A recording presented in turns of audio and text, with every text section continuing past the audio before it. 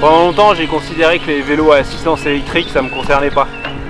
Pour moi, c'était un outil euh, approprié pour que des personnes limitées physiquement renouent avec euh, la pratique cycliste, mais quant à en faire un usage personnel, euh, non.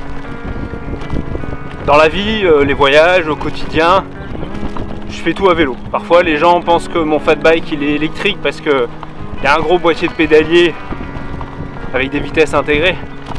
En général, euh, je me frappe la cuisse et je dis non, le moteur il est là. Et puis un jour, j'ai déménagé en haut d'une colline. Ah, une belle colline. Parce qu'en Beldon, il n'y a pas vraiment de pente douce. Comme quatre fois par jour, je fais l'aller-retour à l'école pour mes filles. J'ai vite accusé le coup. J'ai beau être en forme, 32 euh, km et 1600 mètres de dénivelé positif cumulé, tous les jours, jour après jour, sur la même route, c'est un peu usant. C'est là que mes copains de cyclable m'ont parlé de Yuba et de ses cargos électriques. Ils en sont fous. Moi j'étais curieux, j'ai contacté Ben, le fabricant, le fondateur de la marque.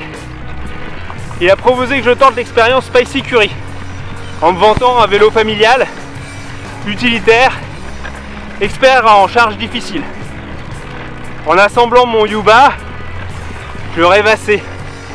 Je me voyais déjà faire mes courses en famille, convoyer mon amoureuse et ses bagages à la gare, aller chercher du bois, partir au ski, en pique-nique, à l'escalade, voire même euh, aller au travail.